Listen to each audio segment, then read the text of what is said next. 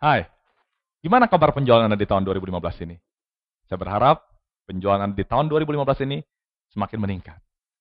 Ada satu kabar baik yang ingin saya sampaikan pada kesempatan ini. Di bulan Maret nanti, tanggal 27 Maret tepatnya, Jakarta Sales Academy kembali hadir mengadakan program khusus di tahun 2015 ini. Kami akan mengangkat tema Getting More Referrals with Great Service. Mengapa topik ini penting?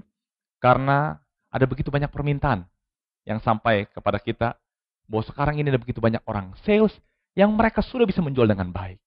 Tapi sayangnya, sedikit sekali customer-customer mereka yang mau memberikan referensi dan terjadi repeat order. Untuk itu, saya akan membawakan pada sesi khusus Jakarta Sales Academy ini dengan tema Getting More Referrals with Great Service. Ada tiga topik yang akan kami bahas dalam training kali ini. Yang pertama adalah bagaimana teknik mengidentifikasi kebutuhan customer Anda. Ada satu teknik namanya Kano. Melalui teknik ini kita bisa mengetahui seberapa dalam kebutuhan pelanggan Anda.